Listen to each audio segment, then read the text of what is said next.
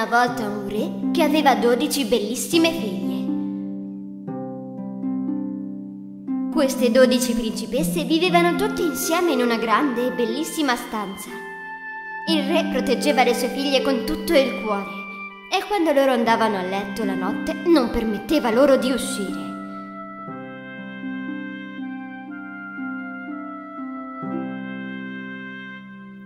Ogni mattina quando si svegliavano qualcosa di molto strano accadeva. Le scarpe delle principesse erano tutte usurate, come se avessero ballato tutta la notte. Il re comprava alle sue figlie nuove scarpe ogni giorno. Ma i giorni successivi, dopo che le scarpe continuavano ad essere indossate, né il re né gli uomini del castello riuscivano a risolvere il mistero delle scarpe. Ma come è possibile? Come può un paio di scarpe venire consumato così in una sola notte? Altezza, non riusciamo proprio a capirlo. Infine il re disse: Chi risolverà il mistero delle scarpe delle mie figlie potrà sposare una di loro, diventare mio genero e futuro re quando io non ci sarò più.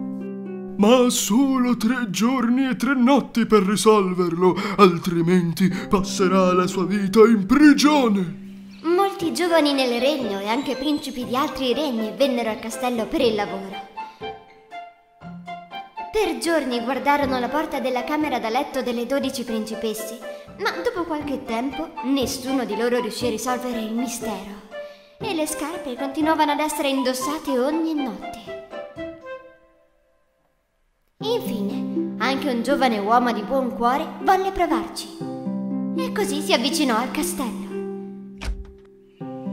Lungo il cammino incontrò una vecchia signora che sembrava molto povera.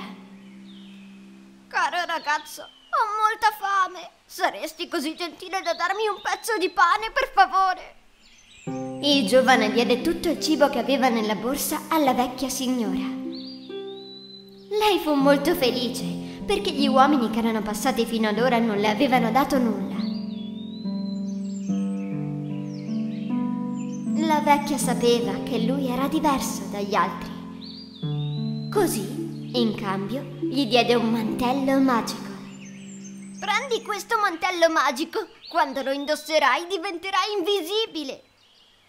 Quando sarà mezzanotte metti il mantello ed essendo invisibile entra nella stanza delle principesse. In questo modo potrai risolvere il mistero delle scarpe.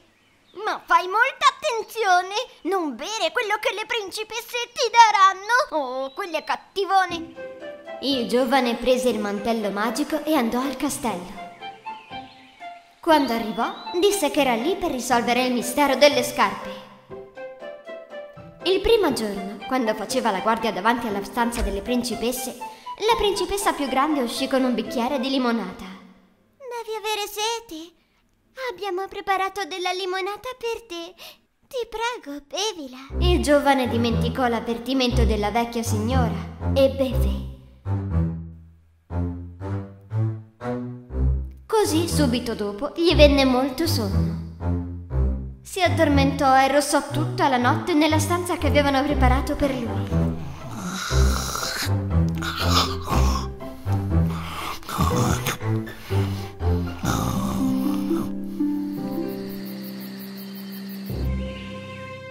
Fu mattina, il giovane si alzò nel panico. Avrei dovuto indossare il mantello magico ed entrare nella stanza delle principesse. La seconda notte, il giovane era di nuovo davanti alla camera delle principesse. Questa volta, un'altra principessa uscì con un bicchiere di succo in mano. Il giovane aveva così sete facendo la guardia e aspettando tutta la notte. Senza pensare, beve tutto il succo che gli era stato dato. E naturalmente si addormentò ancora una volta.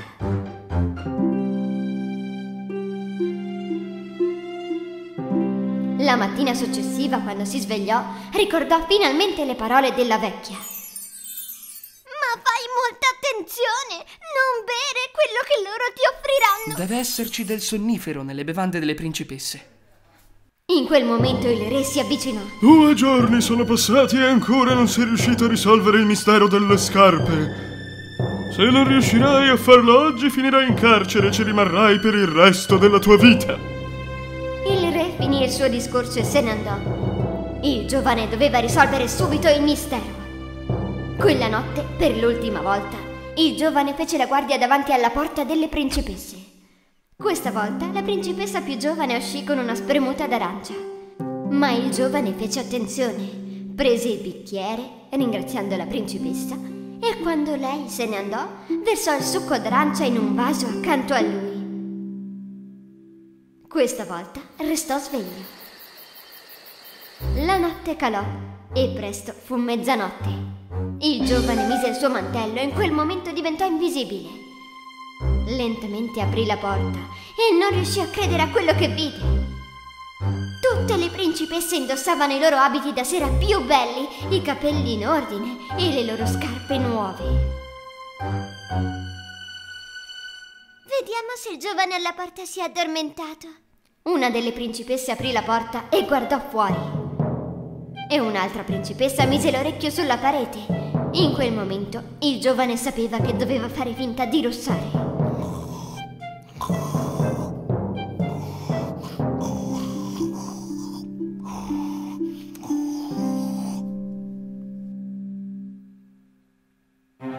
Dopo che furono sicure che il giovane dormisse, la principessa più vecchia spinse il suo letto da una parte e batté le mani tre volte. Un passaggio segreto si aprì al posto del letto. Il giovane non poteva credere ai suoi occhi. Una ad una tutte le principesse entrarono. Naturalmente il giovane le seguì. Il passaggio segreto si apriva su una scala che aveva centinaia di gradini. Mentre stavano scendendo le scale, ad un certo punto il giovane accidentalmente si avvicinò alla gonna di una delle principesse. Ah, qualcuno ha calpestato la mia gonna! Oh, sciocchezze, probabilmente sei stata tu. Quando le scale furono finite, entrarono in una foresta. C'erano alberi altissimi con splendidi rami d'argento. Il giovane prese un rametto e seguì le principesse. Dopo un'altra lunga passeggiata, si fermarono sul bordo di un fiume. Nel fiume c'erano 12 barche a forma di cigno e sopra c'erano 12 principi in attesa delle principesse. Andarono sulle barche e il giovane salì per ultimo. La barca sembra più pesante del solito oggi, come se ci fosse un'altra persona. Strano. Oh, andiamo ora, smettila. Quando attraversarono il fiume, arrivarono ad un grande e scintillante castello. E riuscivano già a sentire la musica provenire da dentro. Quando guardò attraverso la finestra, il giovane vide molte persone che ballavano. Non appena entrarono nel castello, anche le principesse cominciarono a ballare. Non si stancavano mai e continuarono a ballare. Naturalmente le loro scarpe si stavano usurando. Il giovane non sopportava più la fame. Così prese una fetta di torta dal tavolo e cominciò a mangiare. La principessa più giovane lo vide. Ehi, la mia torta! La mia torta sta fluttuando come se qualcuno la stesse mangiando! Andiamo, smettila con queste sciocchezze. Il giovane prese una coppa d'oro dal tavolo senza che nessuno se ne accorgesse. Le principesse ballarono fino alla mattina. Poi tornarono sulle barche. Attraversarono il fiume, camminarono attraverso la foresta, percorsero la lunga scala ed infine tornarono al loro castello. Ma le loro scarpe erano ancora una volta consumate. Il giovane era molto felice di aver finalmente risolto il mistero delle scarpe.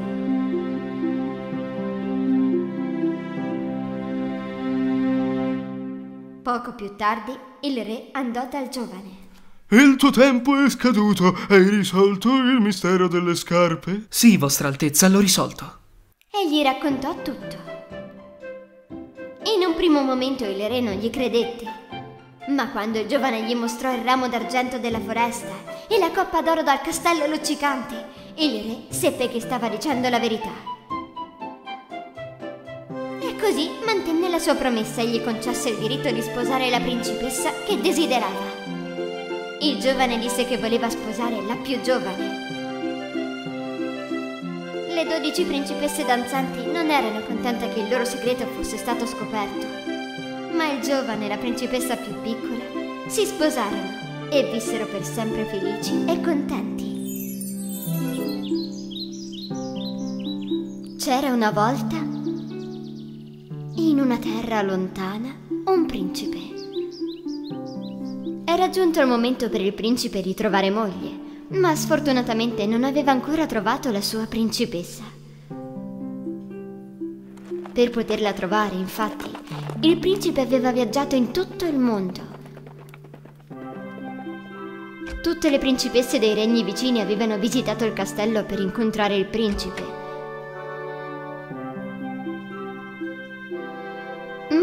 Principe era difficile trovare quella giusta.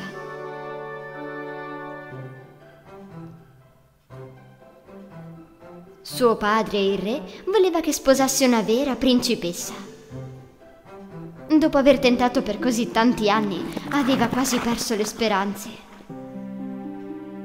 Triste e molto pensieroso, il principe continuava a vivere la sua vita. Il re e la regina invece erano molto preoccupati per la sua situazione. Un'altra triste notte, mentre stava seduto a pensare, cominciò una grande tempesta. Pioveva abbondantemente, c'erano lampi e saette e il suono dei tuoni echeggiava nel castello. Il principe non riusciva a dormire e guardava i fulmini fuori dalla finestra. D'altro canto, non riusciva a fare a meno di pensare alla sua futura principessa. Nonostante il frastuono nel castello, una dei servitori sentì che stavano bussando alla porta. Aprì la porta e notò una giovane ragazza tremante, tutta zuppa di pioggia.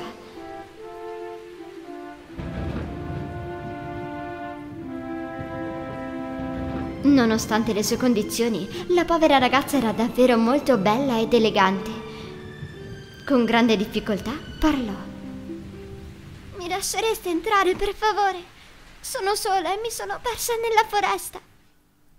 La serva era dispiaciuta per lei, così corse a dare la notizia al re e alla regina. Non possiamo rifiutare di accogliere un visitatore a quest'ora di notte. Fatela entrare. Il re informò subito le guardie della situazione e gli diede degli ordini. Le guardie fecero entrare la ragazza nella sala del castello e la fecero sistemare davanti al caminetto. Vedendo i vestiti della ragazza zuppi di acqua, la regina ordinò ai servi di portare dei vestiti appropriati per la ragazza. Quando furono da sole, la regina le chiese a quest'ora e con questo tempo, mi domando davvero che cosa tu stia cercando. Sono la principessa di una terra lontana. Il mio castello è stato attaccato dai miei nemici. Per proteggermi, mia madre e mio padre mi hanno segretamente mandata via con due soldati. Ma a mezzanotte, a causa della tempesta, ci siamo persi. Ed eccomi qui, ho trovato il vostro castello. Grazie mille per avermi accolta. La regina faceva fatica a crederle ma allo stesso modo trovava ancora più difficile mandarla via dal castello.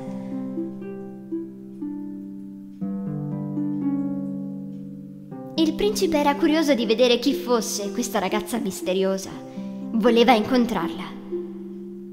A quel punto la ragazza aveva indossato il vestito che le aveva dato la regina. I suoi capelli si erano asciugati e lei si sentiva di più come se stessa.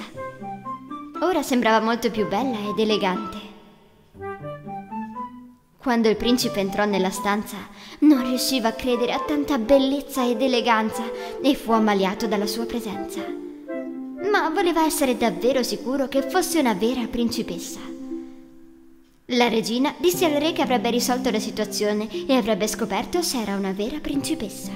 Se è davvero una principessa, lo scopriremo questa notte. Il principe e la principessa chiacchierarono per tutta la notte.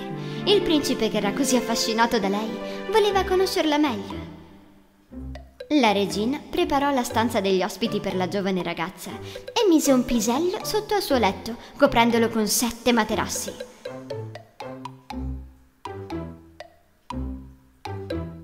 La giovane donna dormì nello strano letto che era stato preparato per lei quella notte.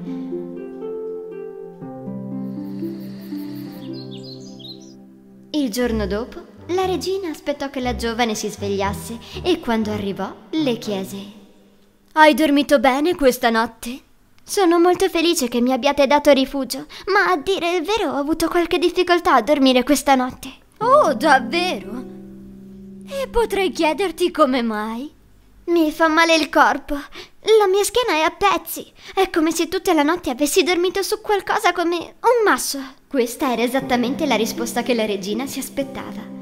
Sapeva che solo una principessa avrebbe potuto sentire tale fastidio attraverso un letto con sette materassi.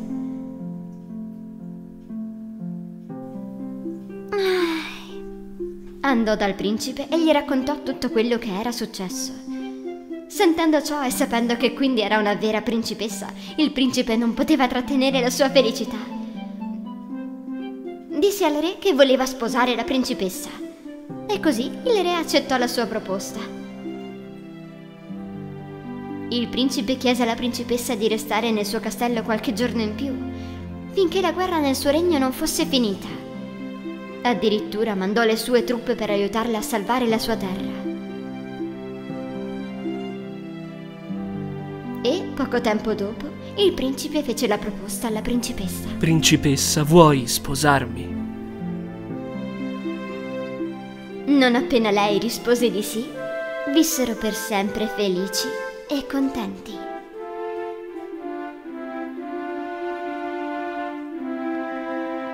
Quella notte il principe fece mettere il pisello in una scatola di vetro e lo espose nell'angolo più bello del castello. Per molti anni il castello ed il pisello furono visitati da tante persone che credevano nel vero amore. La storia del principe e della principessa fu raccontata per molti e molti anni.